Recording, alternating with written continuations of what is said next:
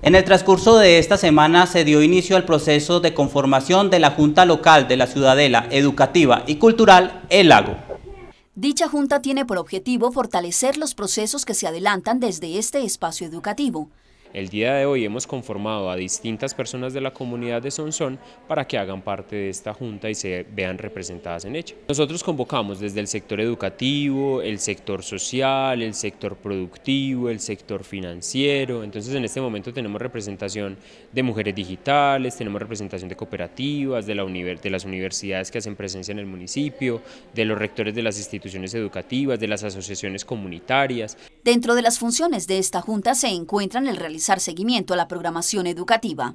La programación que, tengamos desde la gobernación de Antioquia, la programación que tenga el mismo municipio y generar alianzas estratégicas para la dinamización de la programación educativa dentro de la Junta.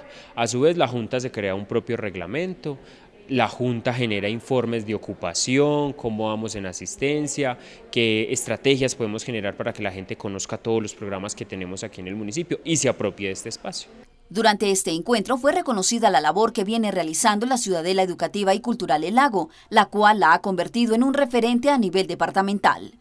Hemos identificado una serie de programas que se han venido fortaleciendo que fortalecen la apropiación social. En este momento, eh, los martes del arte y la Ciudadela Tu Barrio son programas locales que se ha pensado el equipo local de la Ciudadela que de una u otra manera generan una apropiación social. Nosotros nos tiene muy contentos la, la Ciudadela Educativa de Asunción porque es una ciudadela modelo en procesos de apropiación social y programación educativa para el departamento. La Ciudadela no solamente para los estudiantes, es para toda la comunidad que pueden venir acá a capacitarse en, computación básica, en programas de animación digital, en programas de Lego, de desarrollo de pensamiento matemático y también en las salas de lectura. Yo invito a la comunidad, a los miembros de comunidades organizadas que nos apoyen conformando la junta administradora de la de apoyo para esta ciudad educativa. Actualmente la ciudadela tiene un promedio de ocupación semanal de horas del 80% y una asistencia semanal de 600 personas.